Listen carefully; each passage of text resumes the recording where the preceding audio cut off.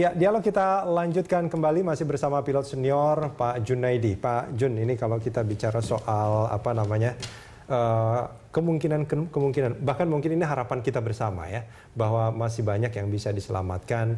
Dan uh, sebetulnya kalau pesawat itu dia apa namanya uh, menyentuh landasan itu istilahnya apa? Touchdown gitu ya? Landing. Landing ya, ya. landing. Nah itu itu kalau di air mestinya dia masih bisa mengambang. Artinya bisa Mestinya ya. Bisa kalau kalau di, direncanakan bisa.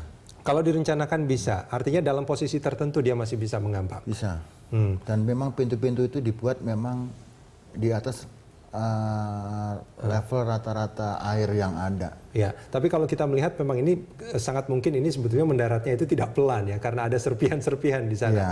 Nah itu kelihatannya dia memang karena apa namanya nose down uh, itu apa namanya benturannya mungkin cukup kencang sehingga mungkin cukup kencang karena memang pesawat yang saya rasa sudah nggak terkendalikan lagi sudah tidak terkendalikan tidak lagi terkendalikan oke okay. tapi gini pak uh, Jun kalau itu benturannya kencang sampai serpihan-serpihannya berserakan adalah ya. kita lihat di, di gambar-gambar itu ya.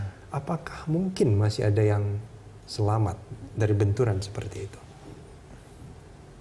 kita belum bisa memastikan apa-apa. Hmm. Tapi kalau bagi bagi kita kan berusaha atau berharap bukan berusaha berharap ya masih terdapat yang selamat ya. Kemungkinan itu masih akan mungkin saja sangat besar ya. Karena dengan terbukanya pintu emergensi itu kan hmm sebetulnya nggak akan bisa terbuka dengan sendirinya kalau nggak dibuka orang. Itu harusnya dibuka. Dibuka. Artinya ada orang yang ada yang membuka. Ada yang ditemukannya membuka. pintu emergensi itu. Okay. Berarti kan dengan dengan dibuka dengan manual otomatis kan berarti ada ada kehidupan di situ kan. Oke. Okay. Dan kita ya, harapkan kita harapkan kita harapkan itu nanti Pak. masih ada kehidupan Semoga yang masih ada yang bisa ditemukan. Pak Jun, terima kasih banyak sudah bersama ya. kami di Breaking News.